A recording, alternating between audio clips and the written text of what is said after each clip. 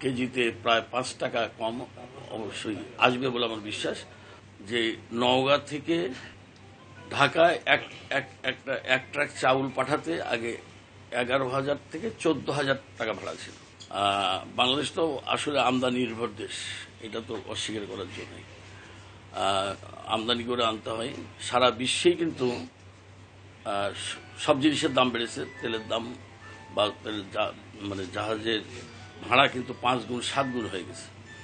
সেই কারণে এটা ব্যালেন্স করার জন্য তেলের দাম বেড়েছে। কিন্তু আমার প্রশ্ন এখানে, তেলের দাম যে পার্সেন্ট বেড়েছে দ্রব্য মূল্য কিন্তু তার থেকে বিশ গুণ বৃদ্ধি করা হয়েছে।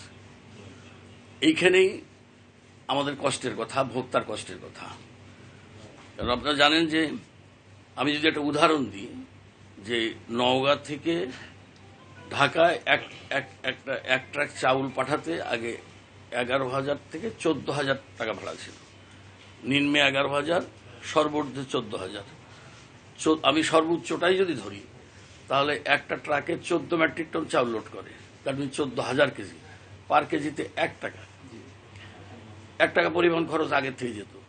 ফর্টি পার্সেন্ট যদি তেলের দাম বৃদ্ধি হয়ে থাকে, তাহলে চল্লিশ পয়সার মধ্যে যোগ হবে। তাহলে এক টাকা চল্লিশ পয়সা। তাহলে চল্লিশ পয়সা চাউলের দাম প্রতি কেজিতে বাড়ার কথা।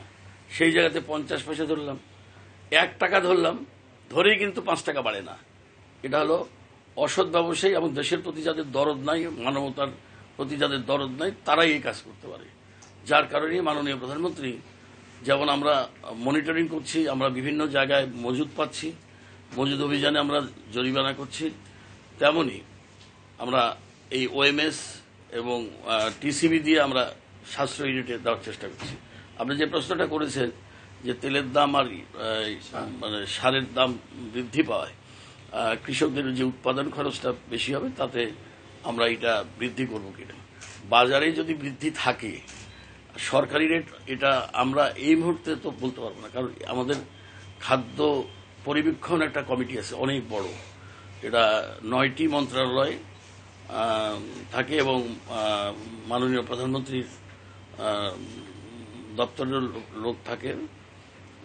এবং এনবিআর থাকে, এটা প্রতি আমন সিজন এবং বড় সিজনের আগে পার্চেজের আগে আমাদের টার্গেট নির্ধারণ হয় ওই মিটিংয়ে এবং মূল্য নির্ধারণ হয়।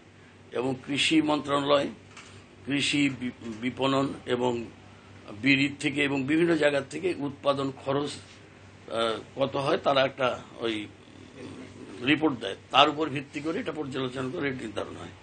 অতএব এগুলো তো অবশ্যই সেই মিটিংয়ে বিবে- বিবেচ্য বিষয় এবং বিবেচনা হবে এবং আমরা তখন বলতে পারব যে কি হবে। শুল্ক কমানোতে চাউল আপনার আমরা যেগুলো অর্ডার দিয়েছি, সব চাউল আসবে, এটা আমরা আশা করি না। আর যার কারণে আমরা বেশি করেই অর্ডারটা দিই। যে কিছু করে হলেও আসুক, আর এটা আসে সাধারণত, মোটা চালটা আসে না। এটা আসে এই মিনিগেট ব্র্যান্ডের আর কি। মিনিগেট বলে তো কোনো ধান নাই। মিনিগেট ব্র্যান্ডের বা নাজির সাইল ইত্যাদি সম্পাকাটের এগুলো আসে। আর সেই চাউলগুলোই আসে এবং সেই চাউলগুলো আসবে বলে আমার বিশ্বাস। কারণ ইতিমধ্যেই পঁচিশ পার্সেন্ট ট্যাক্স যখন ছিল আর কি তখন কিন্তু চাউল আসেনি। মাত্র পঞ্চাশ হাজার মেট্রিক টন এসছে। আমরা অর্ডার দিয়েছি প্রায় চোদ্দ হাজার, চোদ্দ লাখ মেট্রিক টন আসছে মাত্র পঞ্চাশ হাজার মেট্রিক টন কারণ ইন্ডিয়ার থেকে এনে খরচ দিয়ে আমাদের চাউলের থেকে দুই টাকা পার কেজি ওদের বেশি পড়ে যায়। যার জন্য আনে নাই।